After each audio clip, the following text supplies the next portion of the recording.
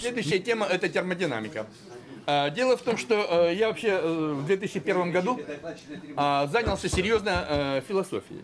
И у меня получилась какая-то своя концепция, а, и мне захотелось проверить, а возможно ли с помощью философии решать частные задачи.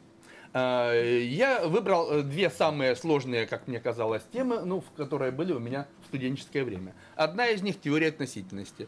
То есть я сначала доказал с позиции философских э, несостоятельностей, я здесь об этом не говорил, потому что э, я здесь только о физике говорю. Вот. Э, и вторая тема э, – это э, термодинамика. Второе начало термодинамики, в общем-то, насколько я знаю, вот сколько я беседовал с людьми, никто абсолютно ничего не может мне сказать об энтропии. Э, люди, которые проработали много-много лет э, э, в области теплотехники, они ответить не могут. И вот поэтому я решил с позиции философски тоже посмотреть на эту тему. У меня тоже получилось, что там ошибка. Э, та же, как и с э, теорией относительности, я э, взялся за физику, почитал, восстановил то, что когда-то знал. Вот. Ну, а математики хватило. Значит, я думаю, что все эти обозначения условные, я думаю, всем известны. И поэтому продолжим.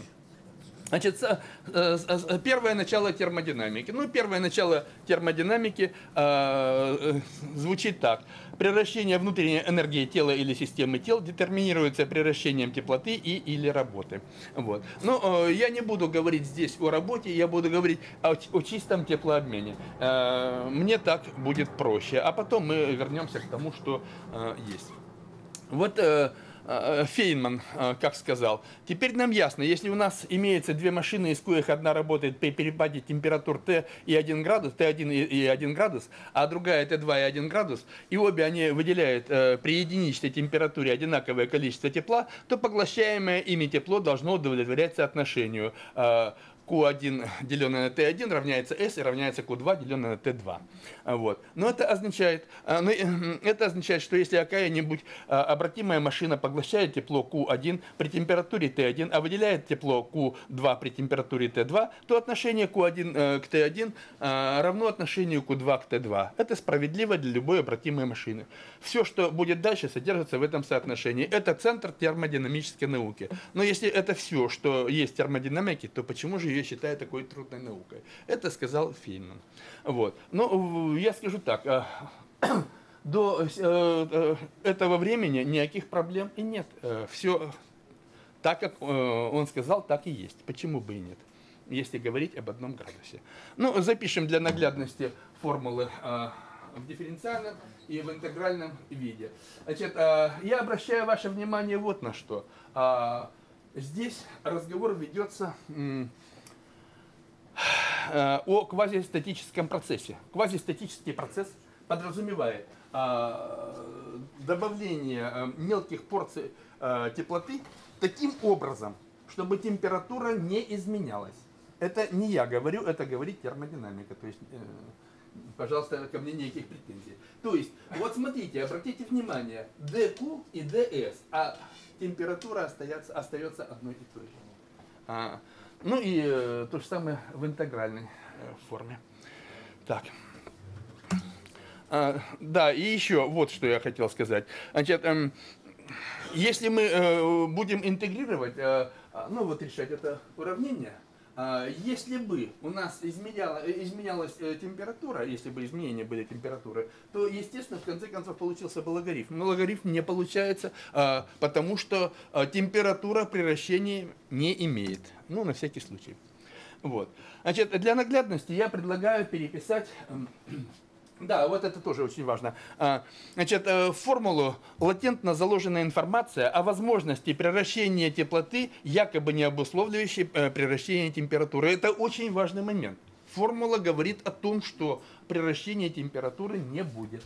А, так вот, значит, э, я поэтому предлагаю переписать эту формулу вот таким образом. Вот пятая формула. То есть э, подчеркивать будем, что t равняется константе.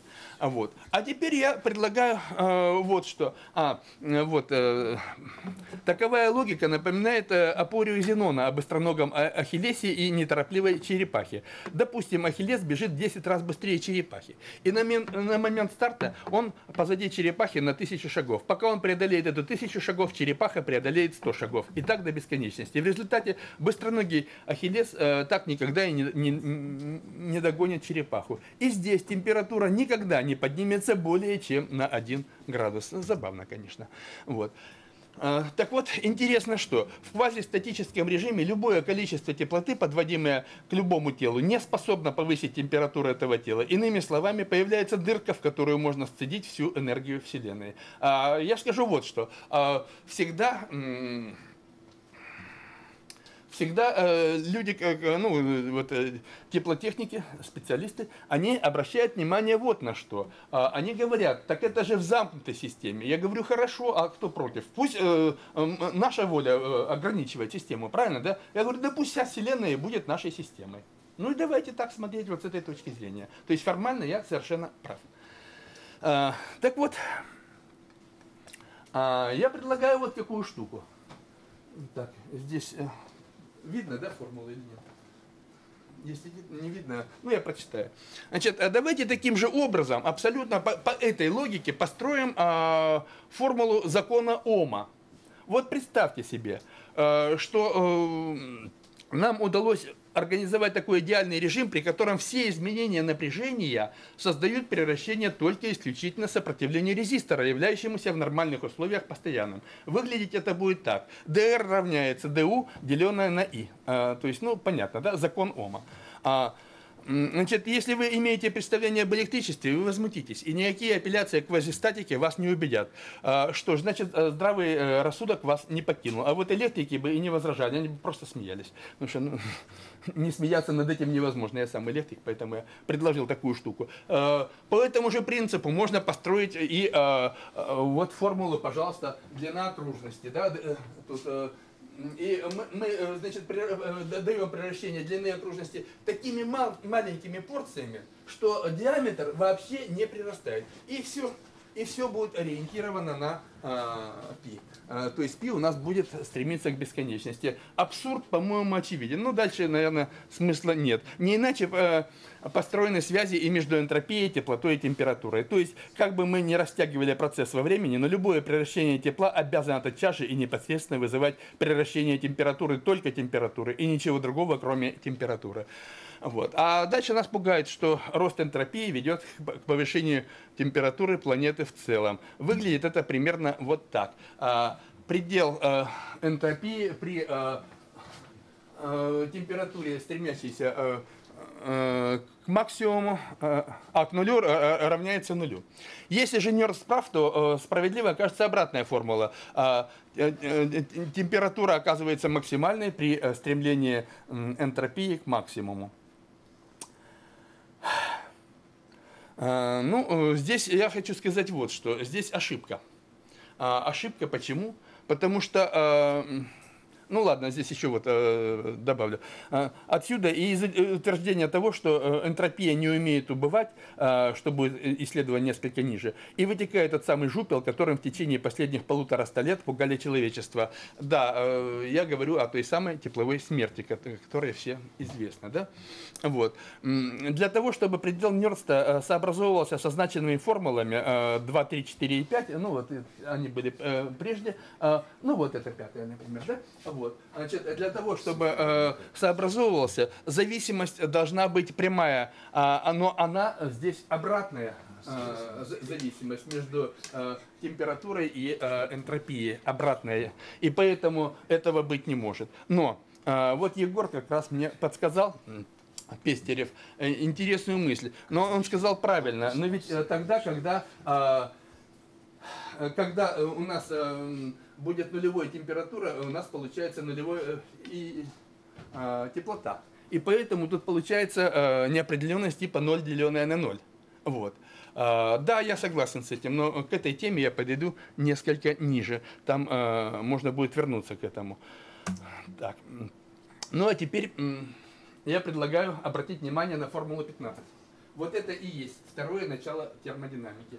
А то самое начало которая говорит о том, что энтропия нарастает. В самом деле, если мы посмотрим на эту формулу, мы увидим, э, что э, при необратимом э, тепловом процессе, мы увидим, что, учитывая, что температуры равными не бывают, они не могут быть равными, если мы говорим о том, что будет иметь место теплообменный процесс. И получается, что дельта S у нас убывать не умеет, только нарастает. И она нарастает только потому, что у нас имеет место а, процесс теплообмена. Это не я говорю, это а, так говорит а, классическая термодинамика. Вот. Ну, значит, а, А, я предлагаю вот э, такую табличку заполнить. Ну, решать э, мы, наверное, не будем. Просто давайте я вам ее вот э, показал, что она есть. И э, в результате, в результате получается, ну, в конце концов, после преобразования всех этих, э, чистая математика говорит, что здесь получается э, дельта S равняется нулю. То есть э, прирастания нет на самом деле. Вот. И все же э, второе начало термодинамики утверждает, что превращение энтропии место имеет. А что ж, тем хуже для второго начала термодинамики. Физика, как мы здесь убедились, с ним не согласна категорически. А,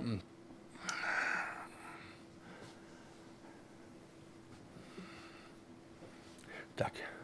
Значит, и теперь я предлагаю вот какую штуку. А, Именно вот по этой логике, по логике второго начала термодинамики. Ну, у меня есть такая слабость, я люблю всегда, когда доказываю что-то э, неверное, я, э, самый любимый мой способ это сведение к абсурду. Ну вот я по этой схеме э, строю э, вот следующий пример.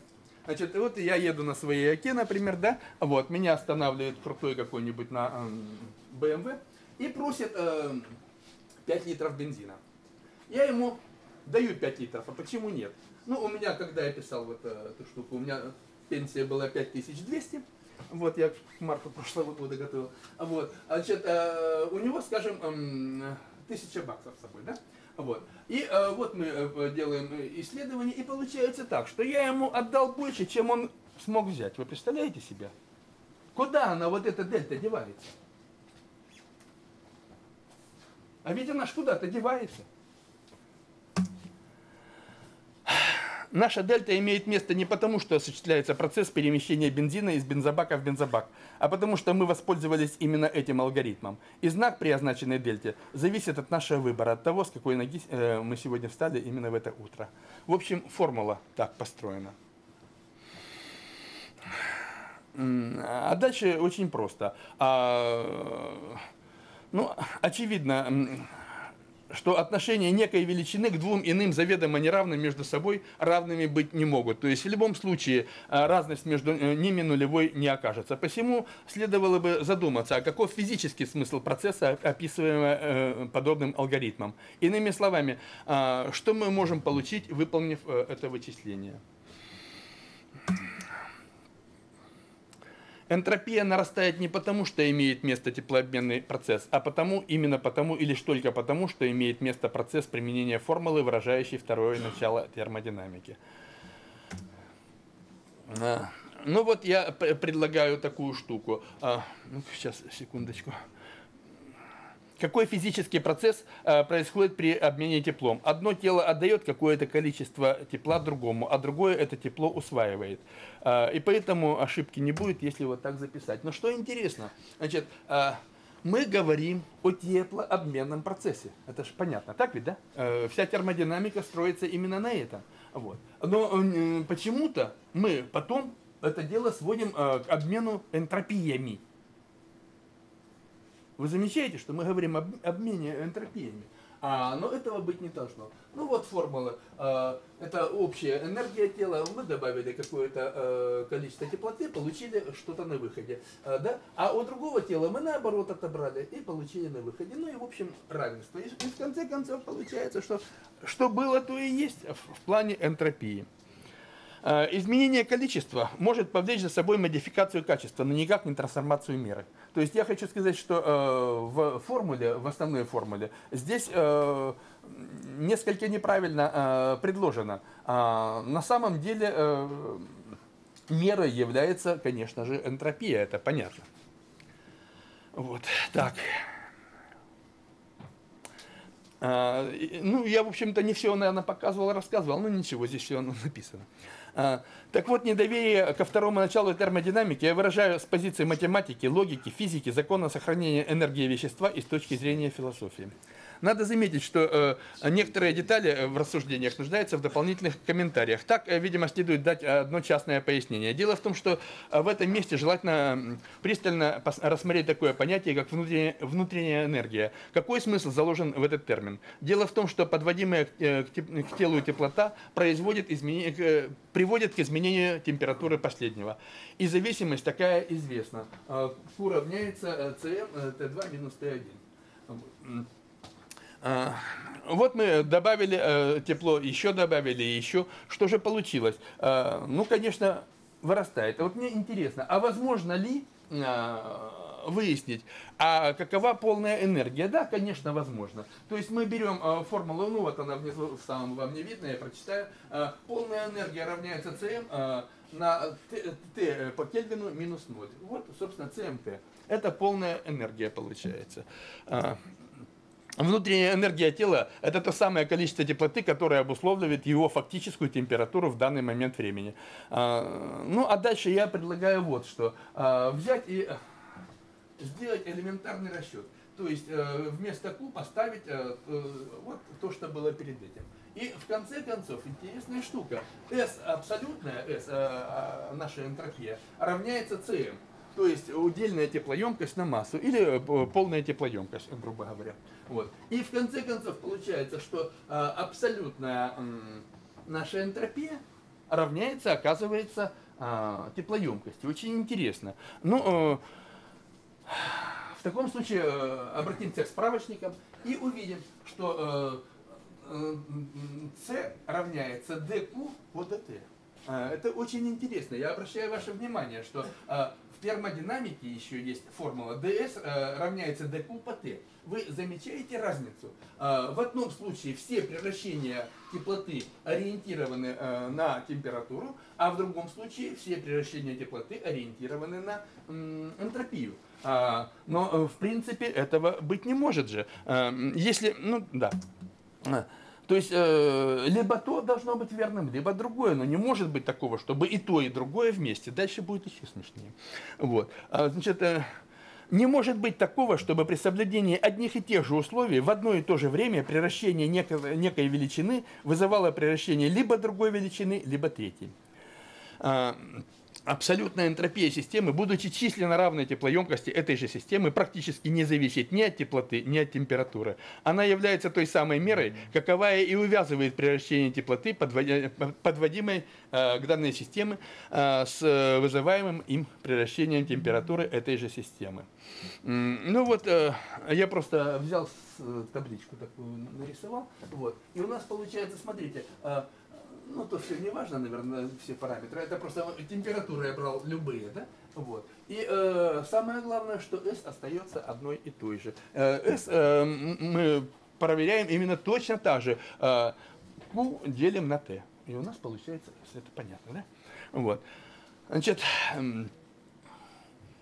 в квазистатическом режиме теплоемкость тел, участвующих в теплообменном процессе, равняется бесконечности. То есть э, так получается по этим формулам. А вот теперь я вам предлагаю три э, формулы. А, основная формула э, термодинамики ds равняется dq по t. А, вот. а потом э, это просто формула.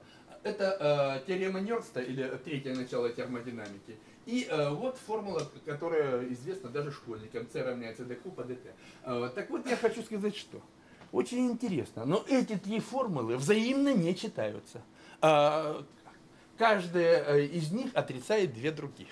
То есть вывод очень простой. Хотя бы две формулы, хотя бы две формулы здесь не верны. То есть, может быть, и все три, я не против, но, но хотя бы две это однозначно. Значит, ну, вполне естественно, а, всю жизнь пользуемся вот этой формулой, и она нас не обманывает. Да? Формула 3, да? А. Называйте, я просто смотрю на а, это. Значит, э, э, я понял, называть буду. Значит, э, пожалуйста, э, я хочу сказать что, что формула 25 э, да. А, она э, верная, она правильная. То есть мы, когда добавляем э, теплоту, у нас добавляется и температура. А, почему э, шестая формула неверна? Я уже говорил. Дело в том, что здесь между температурой и энтропией зависимость по этой формуле, если рассуждать, зависимость должна быть прямой, а она обратная. Понятно, да?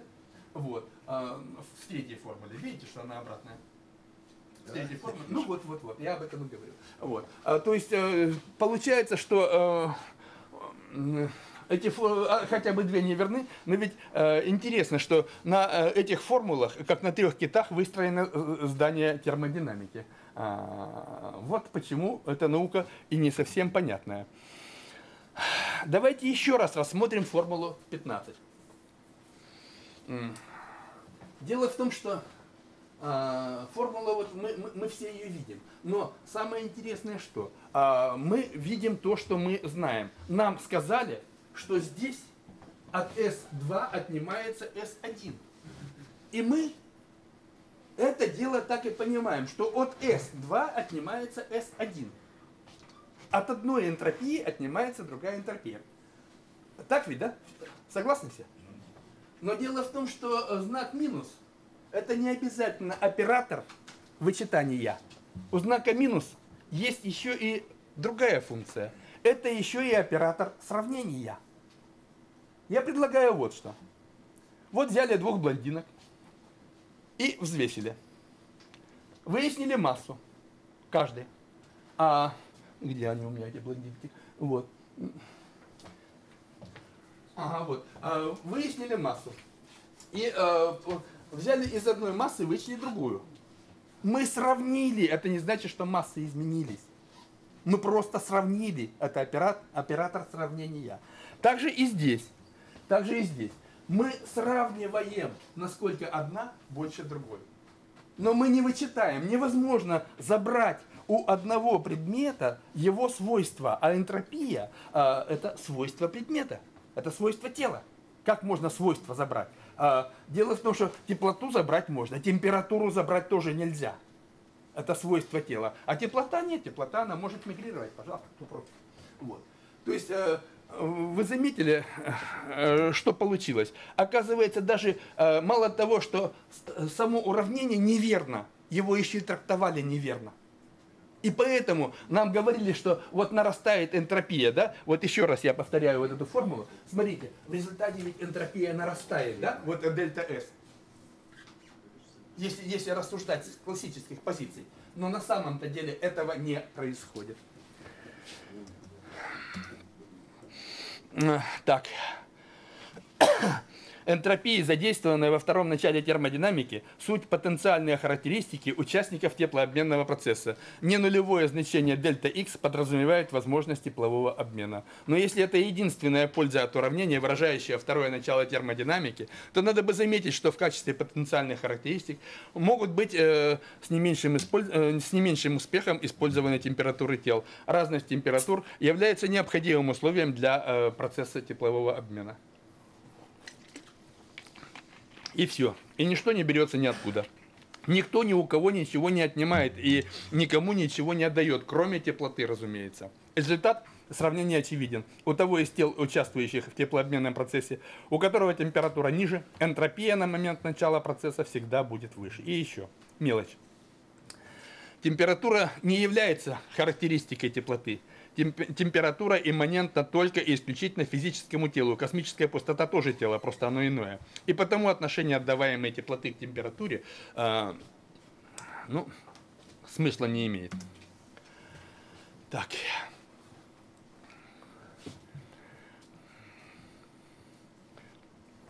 Представим себе любое физическое тело и охладим его мысленно до нуля по Кельвину.